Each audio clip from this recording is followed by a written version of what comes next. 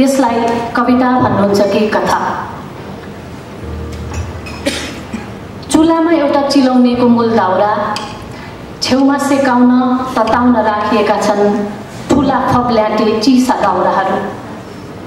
वरिपरिबाट ठोसिएका छन् हरर बल्ने बाँस सिन्का झिझा अम्लिसोका सिटा।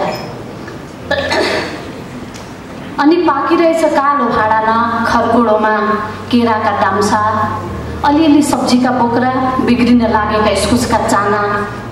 दाल कुटेर रहेको बोक्रे ढुटो अलिकति भुस्पिना नुन गत्त गरेर पाकिरहेछ खोले।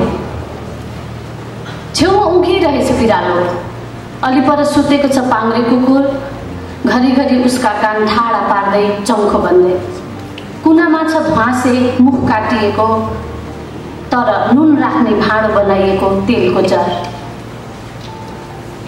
भित्तामा झुन्डिएका छन् भित्र स्टिल हुल र कालो साबुनले माझेर टिलिक्क टल्काएका काला कराईहरू।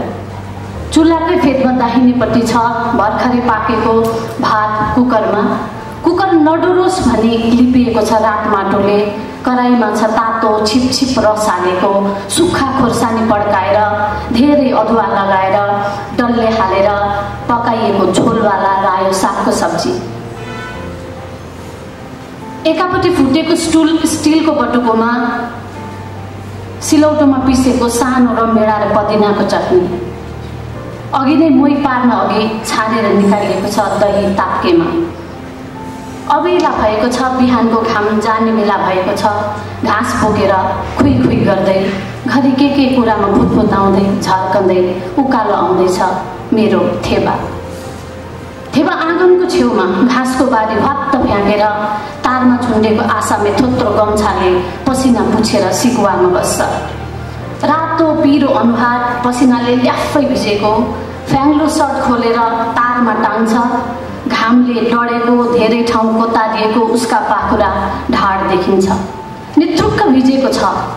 नित्रुक्क भिजेको छ। थेबाको गन्जी। गन्जीको ढाड पछि लागेको छ घाँस घाँस फालेको। पसिनाले दिक्क भएर मकाउन लागेको गन्जी खोल्छ थेबा। लुडो जस्तो हल्लुड जस्तो बनिन्छ खोलेर भ्यात्त फ्याँक्छ त्यसलाई पनि हाइडेनमा। थेबा गोरु मान्छे हो त्यो उसको गन्जीको छाप परेको ठाउँले बताउँछ। भात खान आऊ है भित्रको आवाज। पर्खी पसिना सोसिने देहै बाहिरको आवाज। दिनचर्या हरेक दिनको सङ्घर्ष हरेक दिनको। थेबाले कहिले सोचेन उसको पदोन्नति कहिले हुन्छ?